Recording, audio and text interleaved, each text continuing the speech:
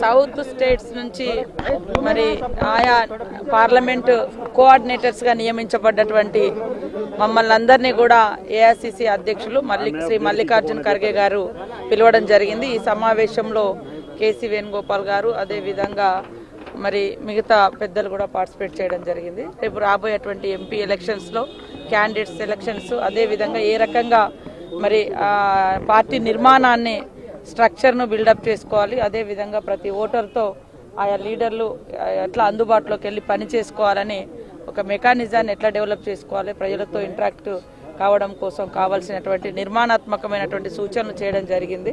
ఒక మంచి అంటే మెసేజ్ను కూడా మాకు అందించారు ఇంకా అంటే ఇన్ని సంవత్సరాల నుంచి ఆయా నాయకులకు అనుభవాలు ఉన్నప్పటికీ మారుతున్నటువంటి ఈ ఎలక్షన్ పోల్ మేనేజ్మెంట్లో మనం కూడా ఈ రకంగా ముందుకెళ్తే బాగుంటుంది అనేటువంటి విషయాలను కూడా చెప్పడం జరిగింది.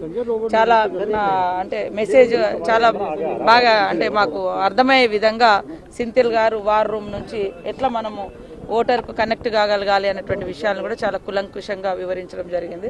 భవిష్యత్తులో తప్పకుండా భారతదేశానికి కావాల్సినటువంటి కాంగ్రెస్ పార్టీ నాయకత్వం రాబోతుంది.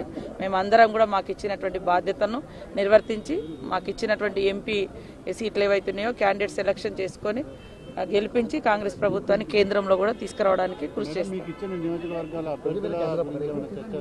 అంటే ఒక్కొక్క స్పెసిఫిక్గా పలానా అభ్యర్థి అనేది రాలేదు కానీ తొందరలో లిస్ట్ అవుట్ చేసుకోండి అని మాత్రం చెప్పడం జరిగింది. తొందరగా సెలక్షన్ చేసుకొని పేర్లు ఇస్తే ఈ మంత్ ఎండింగ్లో వరకు కానీ నెక్స్ట్ ఫిబ్రవరి లోపు కానీ కంప్లీట్ చేద్దాం అనేటువంటి విషయాన్ని చెప్పడం జరిగింది. అభ్యర్థుల ప్రకటన ఎప్పుడు అవకాశం ఉంటుంది?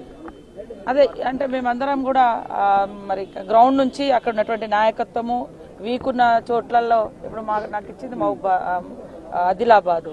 ఇట్లాంటి కాడ కూడా మేము కొంచెం కొత్త నాయకత్వాన్ని కూడా వెతుక్కోవాల్సినటువంటి పరిస్థితి ఉంది. సో అక్కడ లీడర్స్ యొక్క అభిప్రాయాలు ప్రజలలో ఎవరికి పేరు ఉంది ఎవరైతే విన్ అవుతారో అనేటువంటి వర్క్ కూడా మేము చేసుకొని ఆ పేరు పైకి పంపుతాం. ఆ తర్వాత అధిష్టానం ఎట్లా నిర్ణయిస్తే దానికి కట్టుబడి ప్రకటించబడ్డ అభ్యర్థి గెలుపు కోసం కృషి చేస్తాం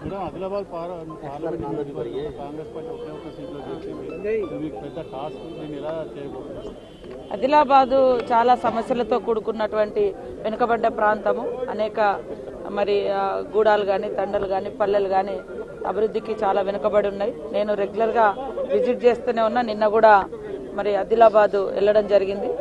అదేవిధంగా అక్కడ క్యాడర్ బలంగా ఉంది. సరే ఒక ఎమ్మెల్యే గెలిచినా ఇంకా మేము ఆయా నియోజకవర్గాల వారీగా సమీక్ష సమావేశాలు పెట్టుకొని వీకున్న కాడ బలమైన నాయకత్వాన్ని కూడా మేము తీసుకుంటూ మరి ఆయా గ్రామ కమిటీలు మండల కమిటీలు నియోజకవర్గ కోఆర్డినేషన్ కమిటీస్ వేసుకొని తప్పకుండా ప్రజల గుండెలలో కాంగ్రెస్ పార్టీ ఉంది.